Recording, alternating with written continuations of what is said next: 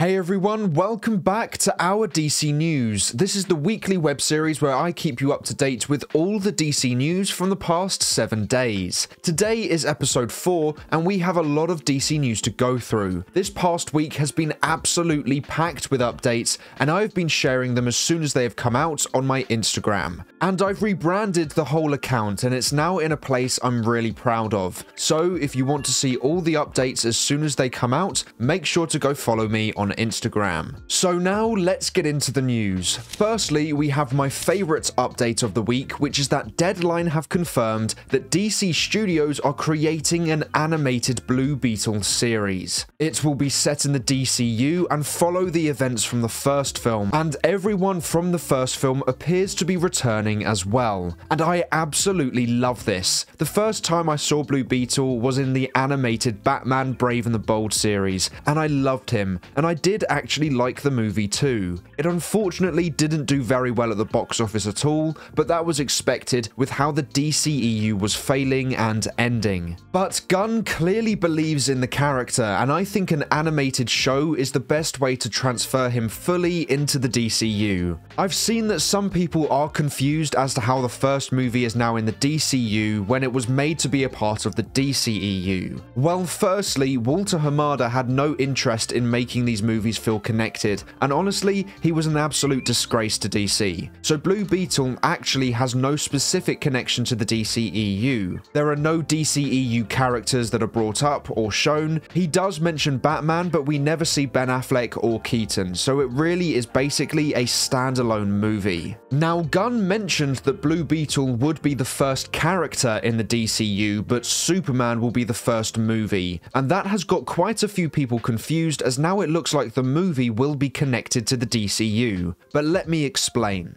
So like with Peacemaker Season 1, the majority of the events from that story will transfer over to the DCU Season 2, but the events that will be forgotten will be anything that is connected to the DCEU, like the Justice League cameo. They're basically using the whole multiverse explanation to allow them to pull the parts of the story over that they want to. To summarize, for some characters, it's a very similar timeline to what their story was in the DCEU, like the smaller characters like Peacemaker, but for others is extremely different, like Superman and Batman for example. They have been completely rebooted so nothing transfers over from the DCEU to the DCU. Hopefully that makes a bit more sense for you guys. I know it is messy, but it's what we are getting and I'm sure after the first couple of projects, the messy starts will be forgotten as we will just be looking forward. But anyway, back to the actual news about Blue Beetle. I think this is a great idea because making this an animated show rather than a live action show or movie will save money and time, which will be needed elsewhere. The first film flopped big time, so risking an entire second movie would be a very bad business decision. Whereas an animated show could be half the price and could really help develop Blue Beetle's story and popularity. It integrates him into the DCU nicely, and the whole cast look to be returning to voice their characters, which Gunn will be doing with every animated project,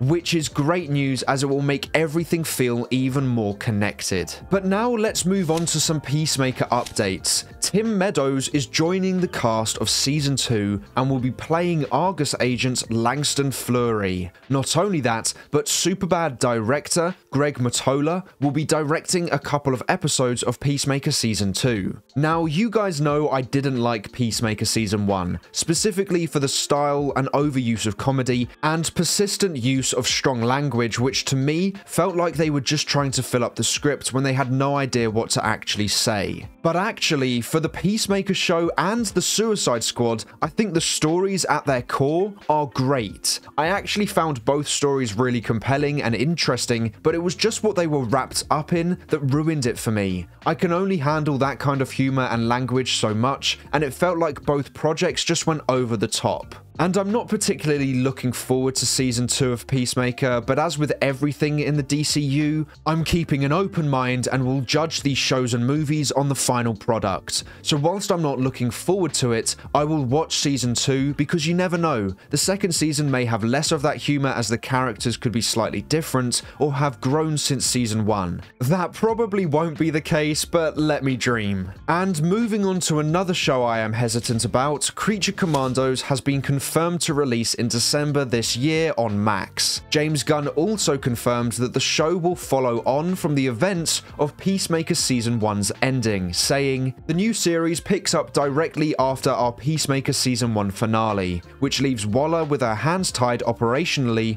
meaning that she's no longer able to get away with putting human lives on the line to carry out her clandestine morally questionable missions. Instead, she recruits a ragtag band of misfits, not unlike the Suicide Squad and Peacemaker. He goes on to say, It's a cornerstone of the legacy we've been entrusted to carry at DC Studios, and plays an integral role in the vision for our future storytelling. Since taking the reins, our true north has been to bring DC film, TV, animation, and gaming into alignment under a single banner and bring a sense of unity and consistency into the DCU as a whole. This frees us to create a range of products that are diverse and compelling and deliver great standalone entertainment experiences on every medium, while also being part of a larger story that we're telling within our unified DCU. Now, the second paragraph is great. I really love what he says there, but it's the first paragraph that concerns me and others. First of all, we see that it's connected to Season 1, which is set in the DCEU, but obviously, as I mentioned earlier, there is a way around it. Whether you like it or not is up to you, but that is what Gunn is doing. But it's really the final line that concerns me the most. Instead, she recruits a ragtag band of misfits, not unlike the Suicide Squad and Peacemaker. Now, that to me sounds like he's just doing the same kind of thing that I personally don't like. I didn't like either Suicide Squad movies, and I've already made my views on Peacemaker clear. I just don't see why we are getting yet another project so similar to what we've just had.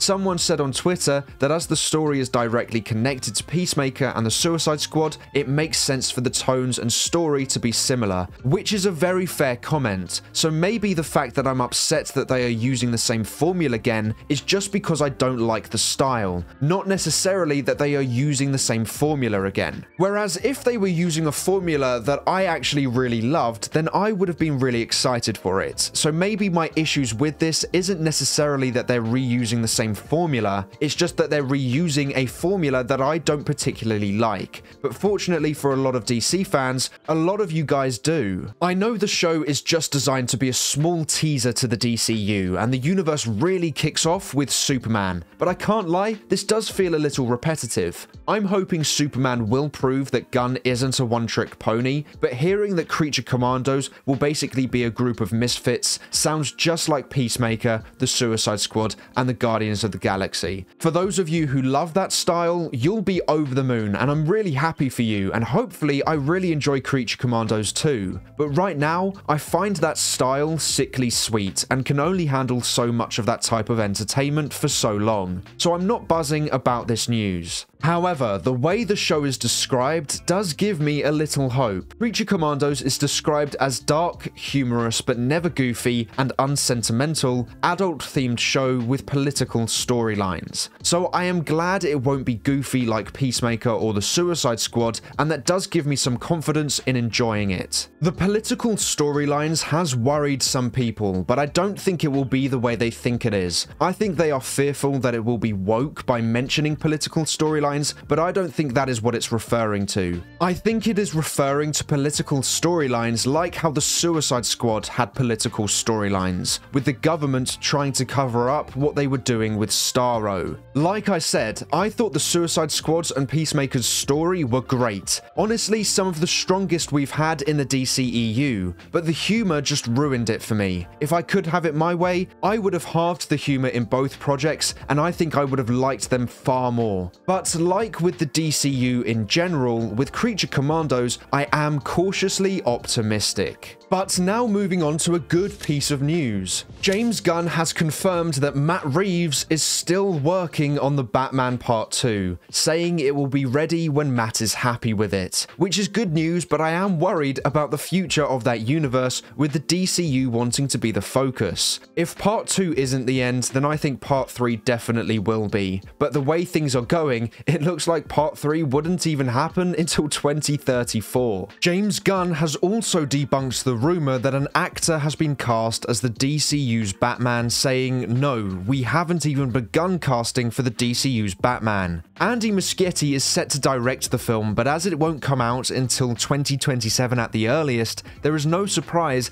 an actor for Batman hasn't been cast yet. To end the episode, we are talking about some set videos from the Superman movie. We have had an aerial video released by a news network revealing a stunt rehearsal on the beach. Some fans are theorizing that the man in red is the stuntman for Eddie Gathegi, who is playing Mr. Terrific, and the stuntmen who are surrounding him are soldiers for Lex Luthor. The location this is being filmed on is an army camp for Luthor Corp, so the soldiers are most likely working for Lex Luthor. So that's all the news from the past seven days. Quite a lot of updates to go through, and apologies for a bit of negativity in this one. Whilst I am optimistic, I am also cautious. Gunn hasn't made DC projects that I love, but I can definitely see where he can really shine, and the idea of the DCU really, really excites me. And in a world full of negativity, I'm gonna try and bring some positivity into it, but obviously I'm combining that with honesty and realism. But that is all for today's video, thank you so much for watching, please make sure to like and subscribe and turn on post notifications so you never miss a video. I hope to see you here again soon, so until then, have a great day. Bye!